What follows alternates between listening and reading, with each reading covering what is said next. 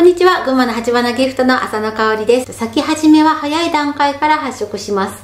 ピンクは優しいピンクです。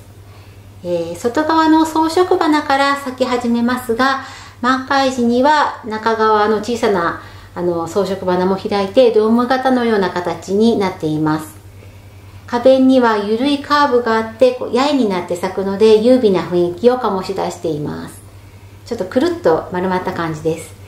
全体的には大きさは小型から中型ぐらいに分類されるかと思います。